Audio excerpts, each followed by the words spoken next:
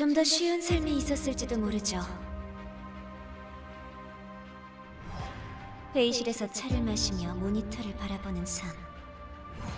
아버지께서도 제가 그렇게 살길 바라셨을지도요.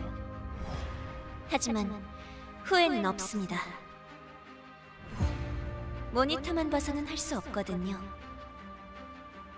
내 동료들과 함께 한 걸음 더 성장하는 건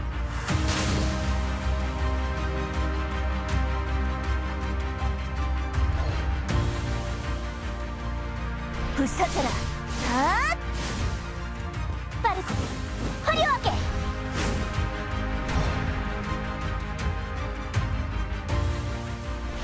끝낼 시간이야. 우리의 전부가 담긴 이 일격.